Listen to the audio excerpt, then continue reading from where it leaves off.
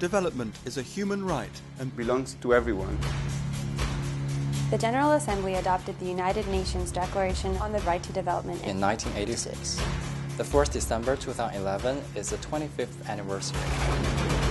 It defines development as a social, economic, cultural and political process. It aims at the constant improvement of the well-being of the entire population. For all individuals and peoples. On the basis of their free and meaningful participation in development. And in the fair distribution of the benefits of development. But the challenges are many.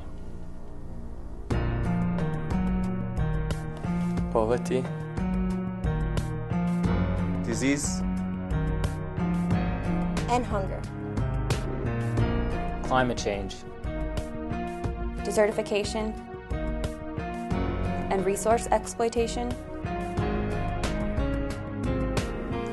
Forced displacement. Discrimination and conflict. all hold back development. Governments must respect, protect and fulfill all human rights to ensure freedom from fear and freedom from want.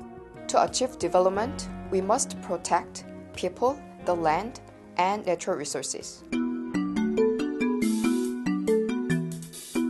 Ensure access to basic services. For health.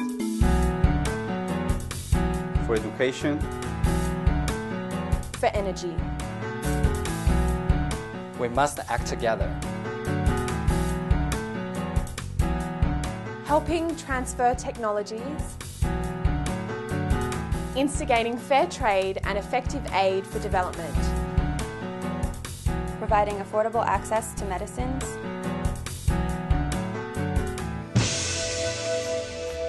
It's people who are at the center of development.